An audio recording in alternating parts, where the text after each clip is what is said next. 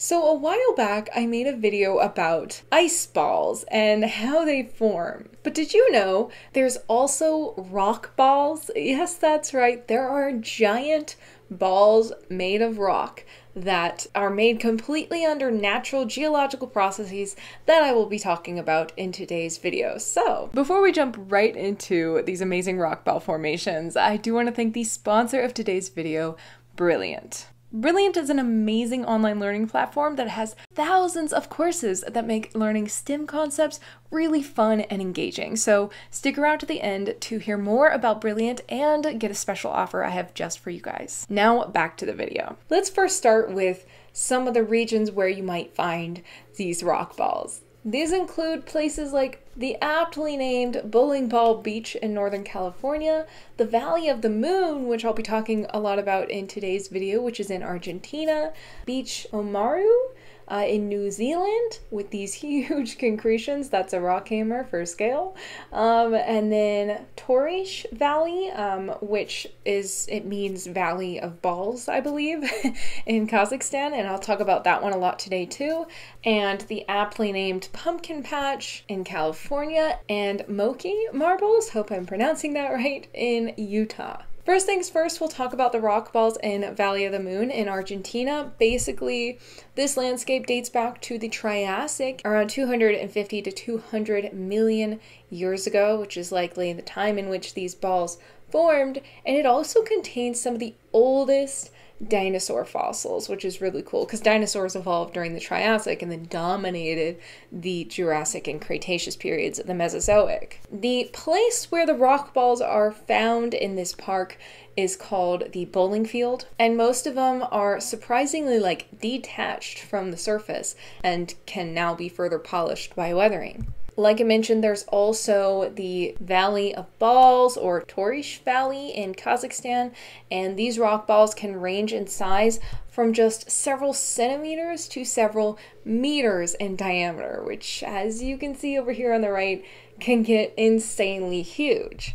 These enormous balls likely formed in this region in Kazakhstan in the mid Jurassic to the early Cretaceous periods, around 180 to 120 million years ago. So, again, quite a long time ago. And these rock balls are what we call, in geological terms, giant concretions. But what are concretions exactly? So, concretions are basically minerals precipitated in layers, concentric layers, around a nucleus, which just means a grain, a rock grain, a shell grain, a bone grain, or fragment um, of any sort. It could be any kind of foreign object that then gets minerals precipitated around it. Most concretions are not very large, and I'll talk about one example later on in this video called ooids. I've talked about ooids in a lot of my videos, but they're kind of like micro, very tiny um, concretions that form concentric layers around a tiny fragment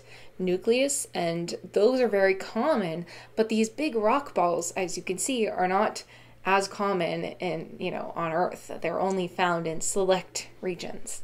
Because of their unusual shape, giant concretions are often mistaken for fossils, such as egg fossils or turtle shells or some other kind of round type fossils.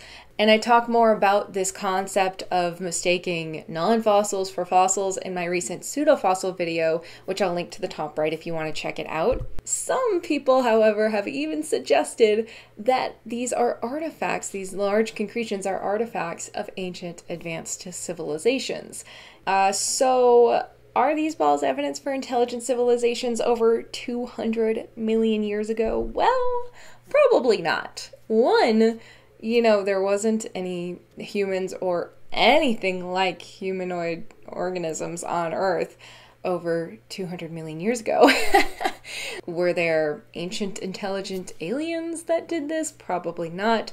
There's actually simple explanation for how they formed. First and foremost, let's get context as to what kind of rocks are in these regions. Well, the Torysh Valley, for example, is made mostly of limestone and sandstone, likely deposited in Mesozoic seas because they're dated back to the Mesozoic, and limestone and sandstone are facies often found in shallow seas. What's really important about these rocks in terms of concretion formation is that they're porous and permeable, which is ideal for these rock balls or concretions to form. How so? How does this work? Well, let me talk a little bit about some concretions that I've talked about previously on my channel and then get into how these rock concretions form. Because I've talked on my channel before about ooids and ice balls.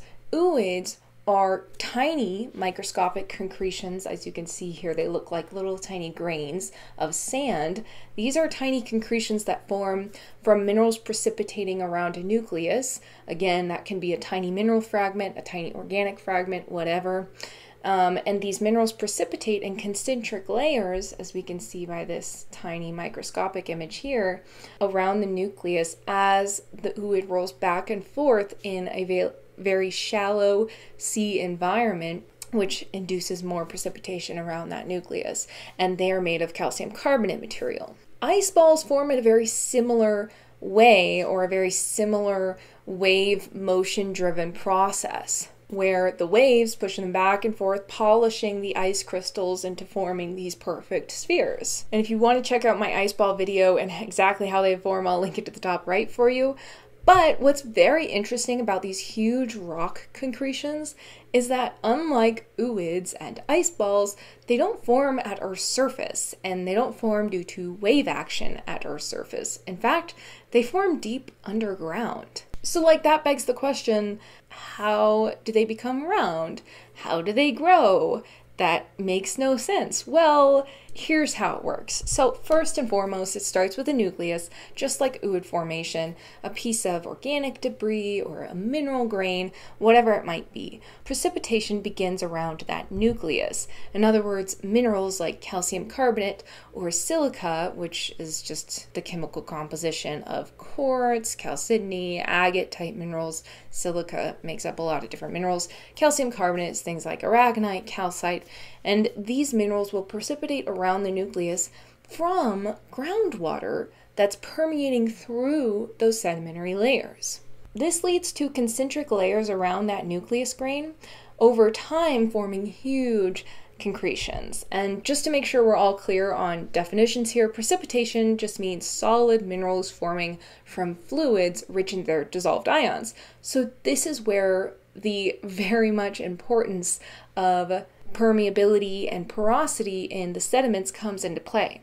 It has to have the ability for groundwater to flow through it, that sediment, in order for the groundwater to carry the dissolved ions like calcium and carbonate ions or siliceous ions to that nucleus and to that next layer and then form the next layer and then form the next layer. And this is the transport of these ions to the nucleus and precipitation around that nucleus. That's what that means. Precipitation just means like mineral formation. Calcium carbonate and silica are commonly the composition of such concretions because they're soluble, so they can be carried by groundwater and then reprecipitated.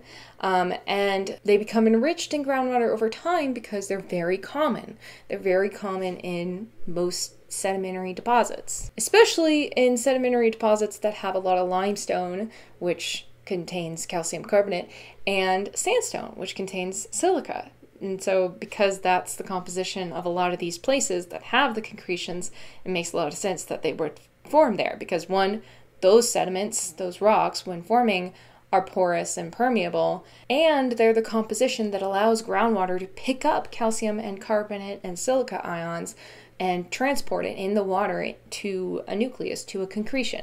Over time, layer by layer, the concretion grows, gradually increasing in size. And we can often, because of this, see the concentric layers like tree rings if we were to cut a concretion in half. These concretions, although round, are very different than geodes. You might be thinking, oh, something else that's round in geology are geodes. These form the same way? But they're very different. They actually don't form, well, they form I don't know, somewhat similarly. They involve hydrothermal, mineral rich fluids flowing through rock and depositing or precipitating out minerals, but the growth of geodes is inward rather than outward. In other words, instead of forming concentric layers around a nucleus, over time it actually kind of fills a crack or crevice in the rocks that was there by precipitating minerals on the edge of the crack or crevice and migrating inward with more precipitation um, until the center cavity is filled with like that last layer of crystalline precipitate. And then you know eventually that is exposed at the surface and someone cuts it open and sees that cavity with layers and then the internal part that's crystalline. And so geodes form differently typically in higher temperature scenarios and just outward to inward rather than the other way around. So in terms of concretion as sedimentation continues in other words the deposition of sediment onto the overlying sediment this uh, graphic that I made is not entirely accurate because obviously these were formed in a sandstone and limestone rich shallow sea environment. So ignore the grass here, pretend it's a shallow sea environment. Um, but in any case, as sedimentation continues in that shallow sea environment, the concretion gets deeper and deeper and pressure from the overlying sediments and compaction from this contributes to concretion growth into a larger, more spherical uh, structure. But how does compaction make it larger? How is there space for growth of the concretion if it's surrounded by material, especially if the pressure around it is becoming greater? Well, here's again where porosity and permeability comes into play a bit. Basically, um, porosity is the pore space uh, between grains and sediment, and permeability is just the ability for fluid to transmit through those sediments. In other words, you can have a porous rock that's not permeable because maybe it has a lot of pore space, but they're not interconnected pores. Whereas if you have pores and they're interconnected, that allows the transmission of fluid through all of those pore spaces and through that rock layer. And that's permeable and porous. So you want both porosity and permeability in this case in order to allow the fluid transmission through these pore spaces. And eventually, as fluid flows through these interconnected permeable pore spaces in the sediment, minerals like calcium carbonate silica can precipitate out in these pore spaces, typically along grain boundaries. Concretion growth can exert pressure on the surrounding sediment. So instead of just pressure being exerted on the concretion, it's also exerting pressure on the surrounding sediments. And this pressure can lead to displacement of the surrounding sediments, especially impermeable and porous sediment, which can allow more precipitation around the concretion. And this pressure can sometimes induce uh, the dissolution of these sediments and also allow more uh, precipitation and growth around the concretion. Also, the stimulation of fluid movement in sediment layers, which is induced by increased pressure around the concretion, leads to the preferential dissolution of the more soluble minerals within the heterogeneous sediment surrounding the concretion.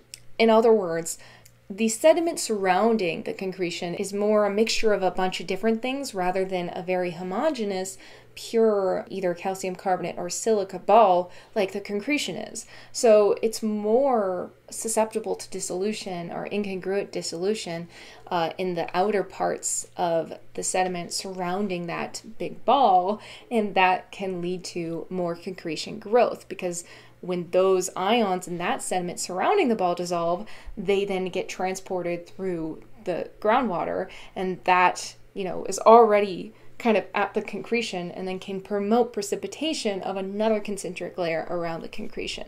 Ultimately, these concretions have to remain in a relatively favorable position for a very long geologically long time, that is millions of years. What do we mean by favorable position? Well, for example, they might be in a mineral precipitation favoring zone um, or mineral formation favoring zone, which is receiving mineral rich fluids from a dissolution favoring zone.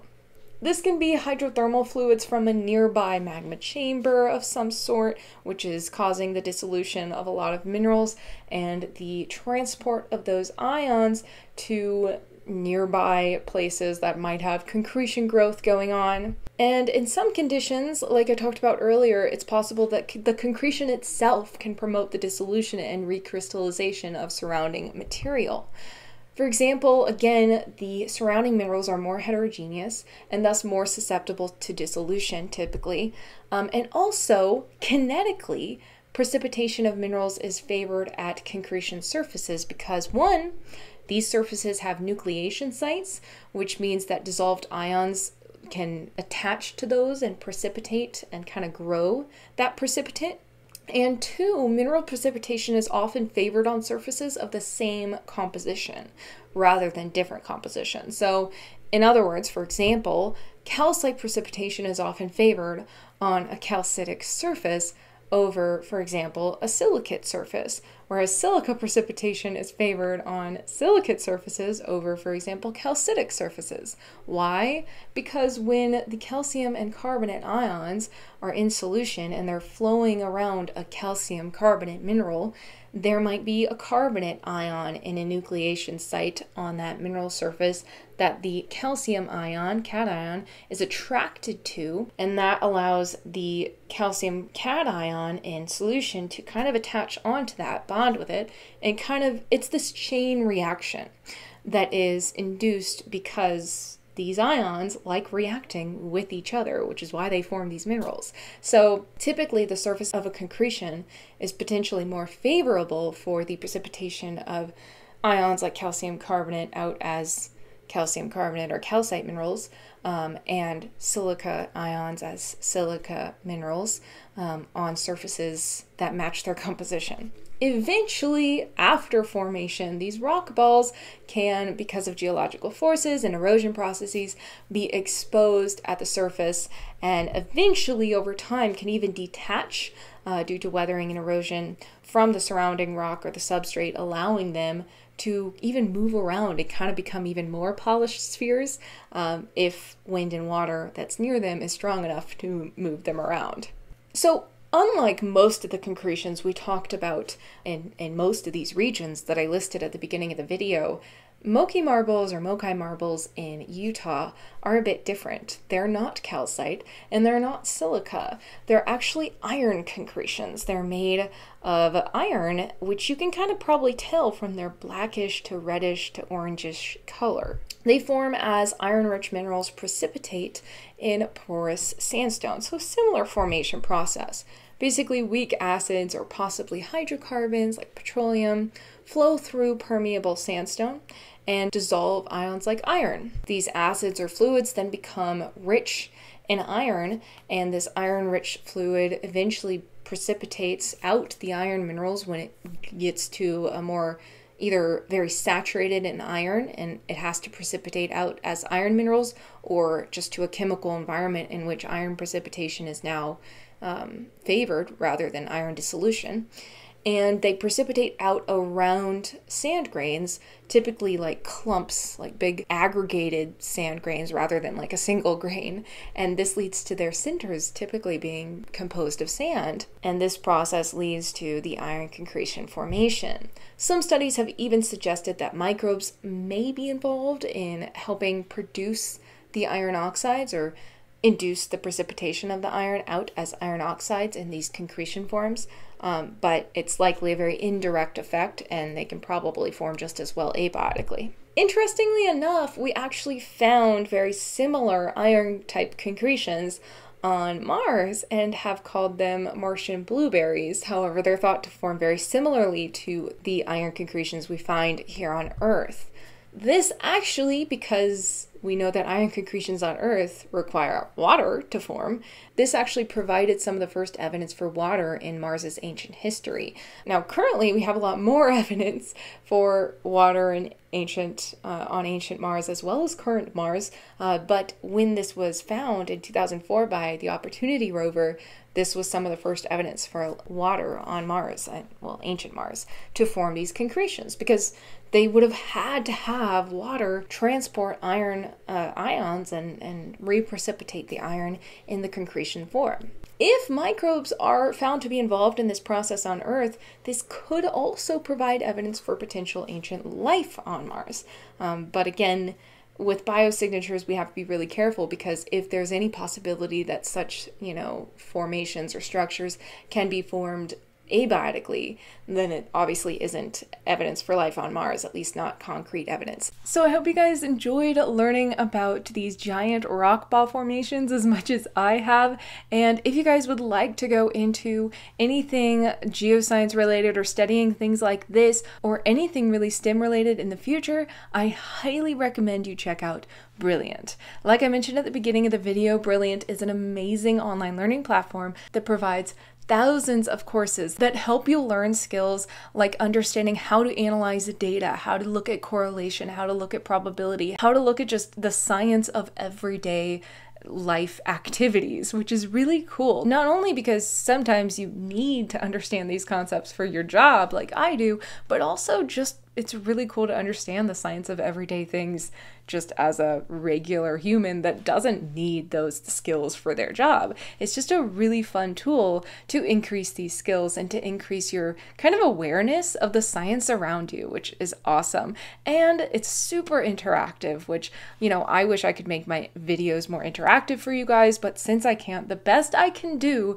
is offer you this amazing, brilliant deal. You can use my link down in my description box below or in the pinned comment to check out Brilliant for free for 30 days. That is a premium, brilliant experience with access to all of their amazing courses for a 30 day trial. And if you like it, you can get 20% off an annual Brilliant subscription. That is 20% off a full year of all that Brilliant has to offer, and that is at brilliant.org slash geogirl. So check out that link down below, and I will see you guys in my next video. Bye.